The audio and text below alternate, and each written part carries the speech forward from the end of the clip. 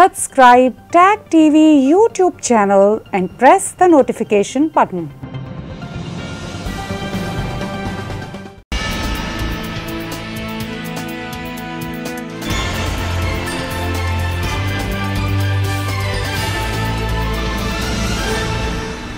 Sindh high court में PIA तैयारा हादसे की शफाफ तहकीकात से मुतालिक दरख्वास्त पर समात हुई अदालत ने डेप्टी अटॉर्नी जनरल से इस्तफसार किया। तैयारा हादसे की रिपोर्ट कब तक आएगी? जिसमें बताया गया कि विफाकी हुकूमत का तैयारा हादसे की रिपोर्ट 22 जून को पब्लिक करने का ऐलान किया गया है। डेप्टी अटॉर्नी जनरल पाकिस्तान ने सिंध हाई कोर्ट को आगाह किया कि 22 जून तक रिपोर्ट आने के इम्कान है। वज़ीर आज़म की हिदायत पर रिपोर्ट भी पब्लिक की जाएगी। दरख्वास्त गुजार ने कहा कि 22 मई को जो तैयारा तबाह हुआ, वो नकारा था, जिस पर अदालत ने कहा कि आपने तो इस्तदा की।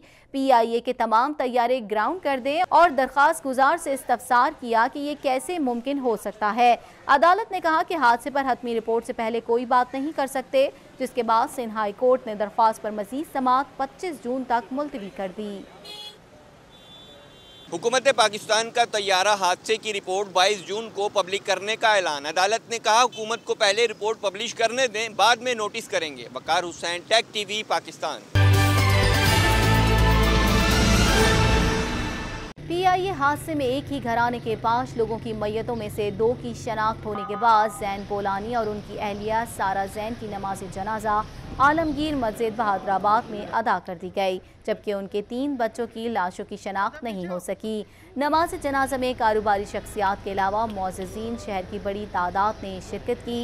इस मौके पर मरहूम के रिश्तेदार मोहम्मद अयाज का कहना था कि हादसे की जिम्मेदार पीआईए इंतजामिया है। ताहम जिम्मेदारों के तयन के लिए हादसे की साफ़ और शफाफ और गैर जानबदार तहकीकात होनी चाहिए। मरने वाले, शहीद होने वाले तो शहीद हो गए, लेकिन उनके पीछे जो खानदान ज़िंदा हैं, जो उनको अपने प्यारों की लाशें ढूँढने के लिए दर दर भटकना पड़ रहा है, मैं इसकी भरपूर मजम्मत करता हूँ। और पोलानी साहब के घराने के जो पाँच अफराद ज़िंदगी की बाजी हार गए शहीद हो गए। मैं इस पर गम का इजहार करता हूँ। मरहूम के एक और रिश्तेदार मोहम्मद हुसैन ने कहा कि दो लाशें मिल गई हैं और तीन की शनाख्त नहीं हुई।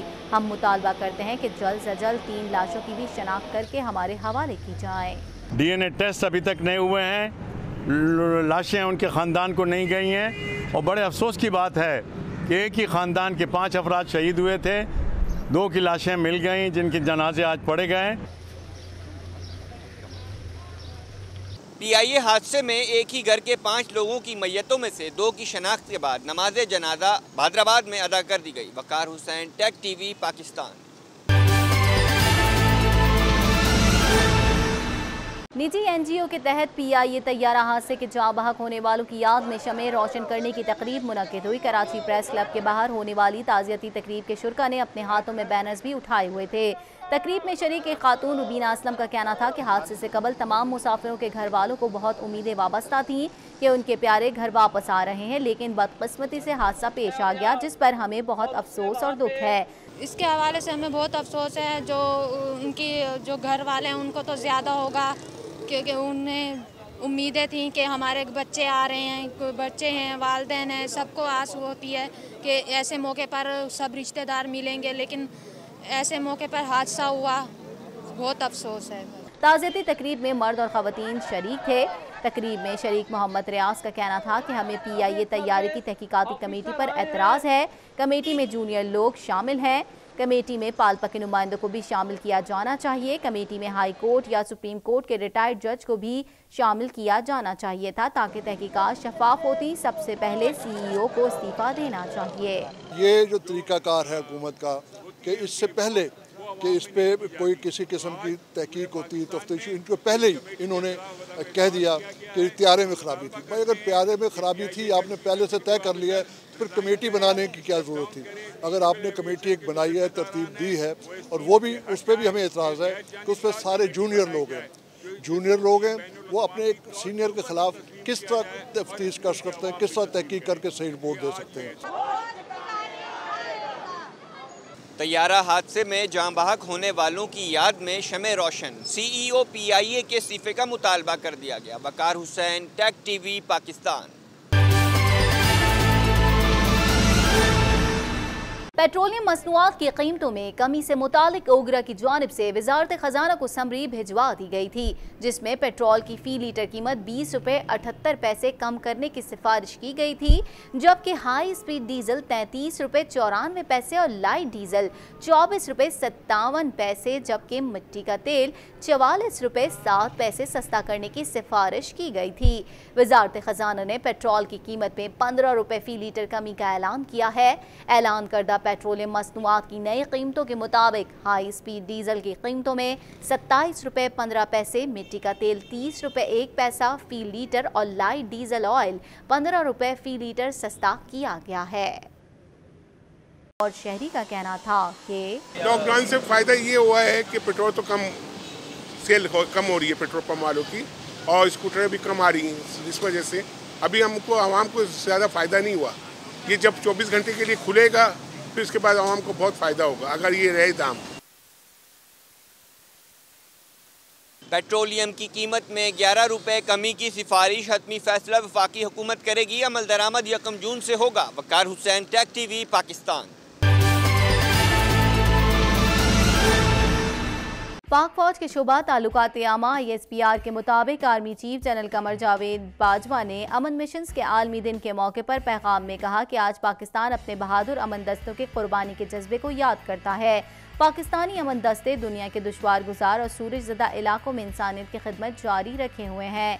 आर्मी चीफ ने कहा कि अकवा मुतहदा के चार्टर के तहत आलमी अमन के लिए पाकिस्तान का अज़म गैर मुतजल है। अमन दस्तों का आलमी दिन मनाने का मकसद, दुनिया भर के अमन दस्तों की काविशों और इंसानी हमदर्दी की सरगर्मियों का एतराफ़ करके उन्हें खराज तहसीन पेश करना है। आलमी अमन के लिए पाकिस्तान का अज़म गैर मुतजल है, आर्मी चीफ कहते हैं। पाकिस्तानी अमन दस्ते दुनिया के शूर ज़दा इलाकों में इंसानियत की खिदमत जारी रखे हुए हैं। Waqar Hussain, Tag TV, Pakistan.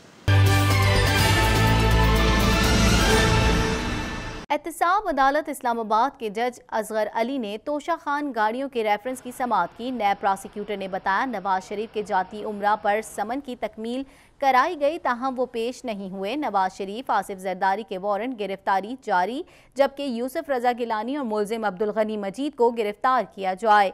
वकलाए सफ़ाई ने मौकफ अपनाया कि मुलजिम आसिफ अली जरदारी और अनवर मजीद अस्पताल में जेर इलाज हैं, सफ़र नहीं कर सकते। चेयरमैन नैब ने वारंट गिरफ्तारी जारी नहीं किए तो नैब प्रोसिक्यूटर कैसे गिरफ्तारी का कह सकते हैं?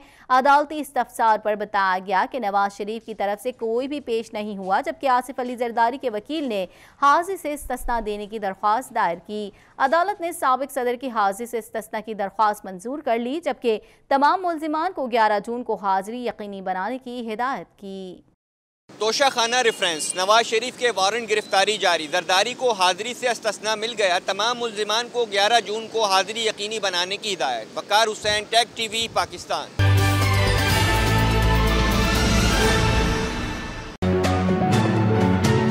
YouTube पर टैग टीवी का चैनल सब्सक्राइब कीजिए और नोटिफिकेशन का बटन भी दबाइए। किसी किस्म का चैलेंजिंग ज़माना हो टैग टीवी अपने व्यूज़ और न्यूज़ लाने में देर नहीं करता।